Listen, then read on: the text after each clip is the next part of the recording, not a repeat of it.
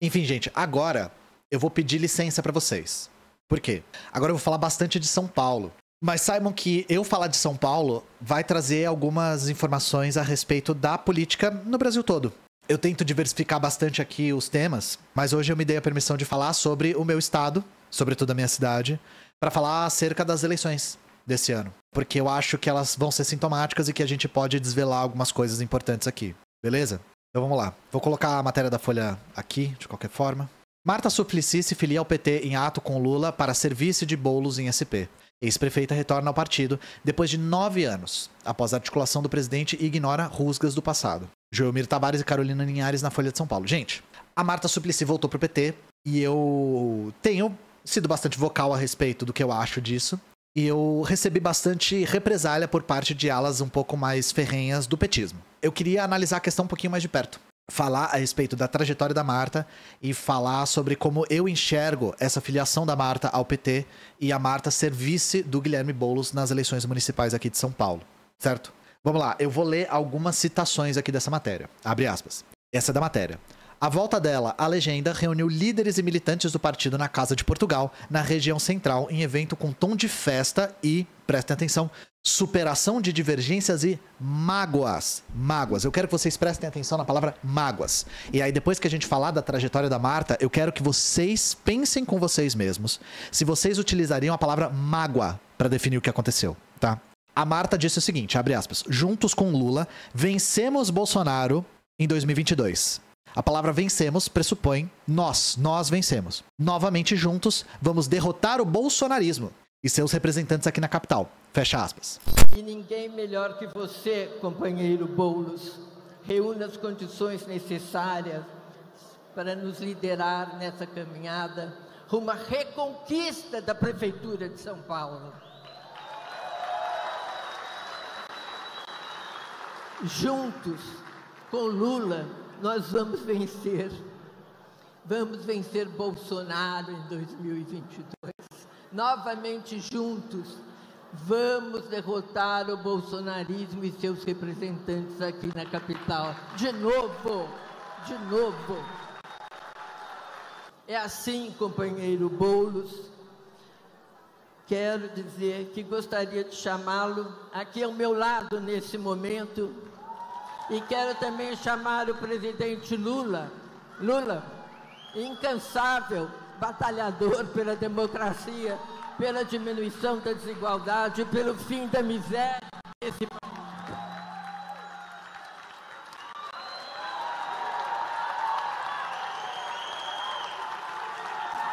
Viva Marta Suplicy, viva a militância do PT, viva Guilherme Boulos, viva Luiz Inácio Lula da Silva! Viva São Paulo, viva a chapa, a futura chapa que vai derrotar o bolsonarismo mais uma vez, Marta, na cidade de São Paulo. Viva! Só que tem um porém a respeito dessa fala da Marta. De falar, nós juntos com Lula derrotamos o Bolsonaro e nós vamos derrotar o bolsonarismo. A Marta era secretária do Ricardo Nunes até mês passado. O Ricardo Nunes é o candidato do bolsonarismo em São Paulo. Nunes diz que ficou chateado com a saída de Marta da prefeitura. Ex-prefeita deixou o cargo de secretária das Relações Internacionais no início de janeiro. Prefeito diz que sua mulher chorou. Então, vejam, a Marta dizer nós vamos derrotar o bolsonarismo e seus representantes? A Marta era secretária do representante do bolsonarismo mês passado. Mês passado. É a primeira informação que eu quero que vocês absorvam aqui. Não obstante, a Marta deixou uma carta de demissão para o Ricardo Nunes. E é uma carta bastante elogiosa da gestão Nunes, porque falar mal da gestão Nunes seria quase que falar mal dela própria. Mas ela diz também, abre aspas para a carta, estar seguindo caminhos coerentes com a sua trajetória política. Olha, se tem uma coisa que pauta a trajetória política da Marta Suplicy é coerência. Inclusive, ser secretária do prefeito megamente bolsonarista e depois deixar o cargo para poder fazer oposição a ele e dizer que vai derrotar o bolsonarismo. E nesse evento nós tínhamos a presença do Lula, né? Que foi um evento com um clima de festa, de reconciliação e tal. E aí o Lula me desce uma frase maravilhosa. Abre aspas pro Lula. Você é o nosso, você Marta Suplicy é o nosso rivelino da política. Você continua no PT.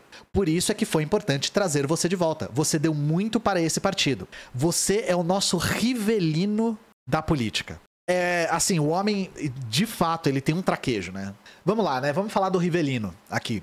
A Marta era do Partido dos Trabalhadores. E a Marta foi prefeita da cidade de São Paulo nos anos 90, né? No final dos anos 90. Só que a Marta saiu do PT. Como a gente leu mais cedo, a Marta estava fora do PT há nove anos. E quando ela saiu do PT? Ela saiu em 2015, depois da reeleição da Dilma. E nessa época, ela era ministra da Cultura e ela era também senadora. Quando ela sai, ela escreve uma carta e o resumo da carta é uma frase que é abre aspas. O PT está protagonizando o maior escândalo de corrupção da história brasileira. Fecha aspas. Para a carta da Marta. Guardem isso que a gente vai comentar depois. Para onde a Marta foi? Ela foi pro MDB. Logo em seguida, ela vota como senadora a favor do impeachment da Dilma e defende ferrenhamente que o impeachment não foi um golpe, tá? Mas não basta ter votado a favor do impeachment, porque a Marta ela tem que trazer uma camada de cringe. Deixa eu mostrar uma foto para vocês. Tem que ter a vergonha alheia, tem que ser paia.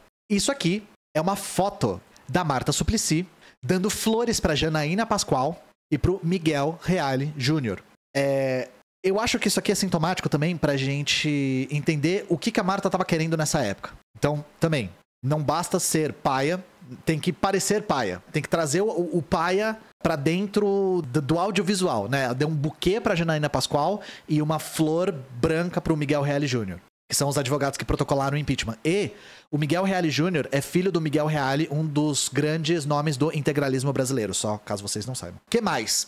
que mais que a gente pode falar da Marta, né? Tem mais, tem mais. Porque a Marta, quando ela estava no MDB, ela compunha as bases do governo Michel Treme. Marta, reforma trabalhista não é lei de Temer e deve ser votada na CCJ. A senadora Marta Suplicy do PMDB afirmou em entrevista à Rádio Senado que crise política não é motivo para impedir a votação da reforma trabalhista. Ou seja, o que nós temos? Nós temos a saída de um partido batendo porta, falando que o partido tem o maior escândalo de corrupção da galáxia, votar a favor de um impeachment criminoso e construir a base de um contra-governo que fez contra-reformas contra a população trabalhadora. Esse é o cenário que nós temos. Alguns anos depois, ela fala que o Haddad foi o pior prefeito que São Paulo já teve. Pior prefeito que São Paulo já teve. Entre todos os prefeitos da ditadura militar, entre o Paulo Maluf, tá? De todos, segundo a Marta Suplicy, o Haddad foi o pior prefeito, tá bom? É, e lembrando que nesse evento que o Lula tava, na filiação da Marta ao PT, o Lula disse que a Marta foi a melhor prefeita que São Paulo já teve. Ignorando completamente a gestão do Haddad e da Luísa Erundina, quando ela era do PT. E o que, que a Marta fez nas eleições municipais passadas? A Marta fez campanha para o Bruno Covas, do PSDB. E oposição a quem? Guilherme Boulos. A Marta estava ao lado da prefeitura que venceu, é porque o Bruno Covas morreu depois que ele venceu. Quem assumiu foi o secretário dele e a Marta ganhou o bom e velho carguinho. Esse é o cenário que a gente tem. E quando eu falei coisas análogas a isso no Twitter, eu invoquei, como eu já disse, defensor de Marta. Porque ah, a Marta fez o céu no meu bairro e a Marta fez o bilhete único. Para além dessas questões, eu quero fazer uma série de leituras aqui, tá? Primeiro de tudo, por que, que a Marta saiu do PT? Qual que é a minha leitura aqui? A Marta saiu do PT no auge da Lava Jato. Qual que foi a perspectiva que a Marta tinha? Eu acredito que na cabeça dela, a Lava Jato ia causar um dano irreversível pro PT. E a Marta não quis sacrificar a própria vida política em nome da sigla. Ou seja, a Marta sai do PT no auge da Lava Jato, abraça o discurso de corrupção e se filia ao partido que estava sendo apoiado de maneira quase incondicional pela burguesia e pela mídia, que é o PMDB, que seria responsável pelo golpe contra Dilma e depois iria compor um governo federal. Então, isso aqui é fisiologismo puro. A Marta viu o que era melhor para ela no momento. Alpinista, exatamente. Alpinista é uma palavra boa. Só que a questão é: a Lava Jato envelheceu que nem leite, né? A Lava Jato não teve o efeito sobre o PT que a Marta esperava e que muitos esperavam. Então a situação ficou complicada, né? Depois a Marta sai do PMDB, ela se filia um tempo ao Solidariedade, acho que é isso. Mas depois ela fica pouco tempo nesse Solidariedade, se eu não me engano, posso estar errado. E ela estava sem partido até pouco tempo atrás, né? Entenderam? Essa é a primeira leitura. Então, isso já é a evidência de um oportunismo bastante patente. A segunda questão é o seguinte: eu quero que vocês percebam o que está por trás da indicação da Marta para vice do Bolos. O que, que o PSOL e o Bolos, particularmente, estavam procurando em São Paulo? Apoio do PT para a candidatura dele na prefeitura. Caso vocês não lembrem, na campanha passada, nós tínhamos um candidato do PT que era o Gilmar Tato. É um candidato bastante inexpressivo do PT. Agora o Boulos estava tentando construir uma frente ampla com o apoio do PT. Só que não basta o PT apoiar o Boulos. O PT quis indicar a vice e não foi qualquer vice. O PT indicou a vice e a vice era uma pessoa que fazia oposição ao próprio PT por nove anos, tá? E não foi pouca oposição, foi uma oposição muito vocal. E o pessoal acatou. Acatou. Então é isso que a gente quer dizer quando a gente diz que o pessoal está a reboque do PT. Porque vocês imaginem o nível de submissão de um partido ao outro para eles acatarem a esse tipo de medida em troca do apoio do Partido dos Trabalhadores. Entendem? E eu não acho só, não acho só que a Marta Suplicy está como vice para que isso, digamos assim, puxe mais votos da população que tem uma boa memória da gestão dela. Eu acredito também que a Marta, dentro da gestão Nunes, construiu relações com as bases dele. Eu acredito que essa é a boa e velha tese da governabilidade, porque a Marta está lá também para articular o governo Bolos, eventual governo Bolos, com as bases que compunham o governo do Ricardo Nunes no, passado, durante a gestão dele, durante o secretariado dela. Eu acredito que seja isso. Entendem? E aí é que fica a grande questão, e é isso que os petistas me falam o tempo todo, os petistas mais, digamos assim, que se irritam mais com as minhas posições, né? Ué, mas não vale tudo para ganhar uma eleição? O que, que seria melhor então? Deixar o Nunes ganhar e aí foda-se São Paulo? Gente, em momento algum eu disse isso, tá? Em momento algum eu disse isso. É que a internet às vezes tem alergia a debates mais complexos. O que eu tô querendo dizer aqui, explicitando tudo isso, falando da trajetória da Marta, falando da submissão do pessoal ao PT, falando da via eleitoreira do pessoal, e isso vindo de uma figura que vem de um trabalho de base, que é o Guilherme Boulos, mas que não está construindo a sua candidatura baseada apenas em trabalho de base, mas também em conciliação, ou como a gente pode dizer, capitulação de classes. O que, que eu tô querendo dizer com essa política toda? Essa política conciliatória, essa política que a gente chama de conciliatória, mas na verdade é uma política capitulacionista, tá? É abrir uh, os flancos para a direita terem gerência num governo progressista para tal governabilidade. A primeira coisa que eu quero perguntar para vocês é: qual é a governabilidade que o Lula está tendo? Eu tô perguntando de coração, qual é a governabilidade que o Lula está tendo? O Lula abre concessão atrás de concessão, seja nos ministérios, seja nas alianças, seja a respeito das Forças Armadas ou da Câmara dos Deputados mínima, simbólica, exatamente. Então, isso tudo não era por governabilidade? Não estamos tendo nenhum nem outro, né? Só que tem uma outra coisa. Não só isso faz com que essa coisa da governabilidade fique muito questionável, como nós já sentimos as consequências desse tipo de política durante o episódio que eu acabei de relatar para vocês da saída da Marta. Esse tipo de política conciliatória faz com que a resistência aos ataques da burguesia fique muito débil. Quando nós tivermos um governo bolos, né? Se eventualmente nós tivermos um governo Boulos, vocês têm alguma dúvida de que os setores reacionários e a burguesia vão se opor e começar a atacar o governo? Não, né? Os setores reacionários vão atacar o governo Boulos, vão fazer oposição. Esse tipo de política conciliatória faz com que a resistência a esses ataques seja muito fraca. E por que, que eu estou dizendo que vocês já sentiram isso na pele? Porque, frente à oposição e o impeachment da Dilma, qual foi a resistência que o PT conseguiu apresentar? Perguntando de verdade para vocês.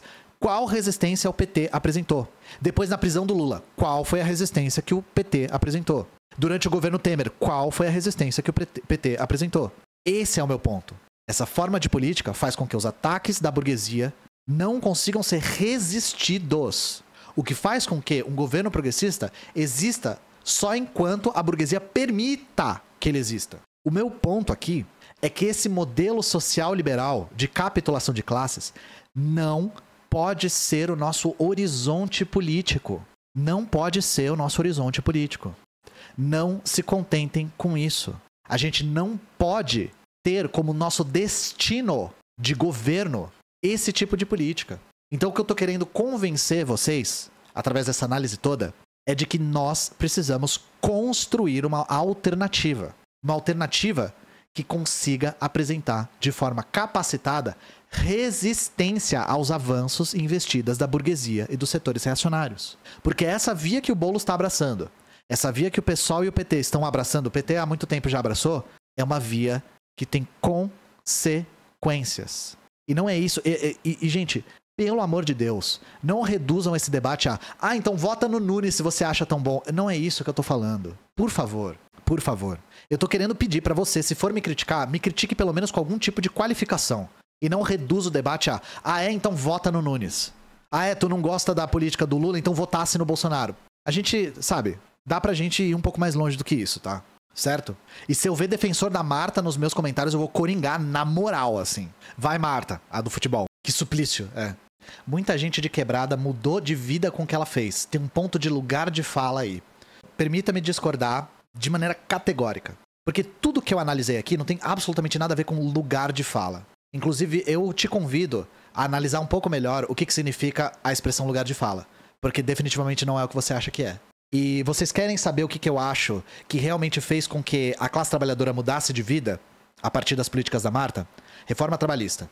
Reforma trabalhista que a Marta articulou e votou a favor mudou de fato a vida da classe trabalhadora. Mas disso é, a gente não fala muito, né? Quem vem forte depois do Lula? A política feita pelo Lula não deve ser a política que é o nosso horizonte. Porque essa política é muito débil, foi o que eu falei, ela tem muitas consequências e a gente já sentiu as consequências.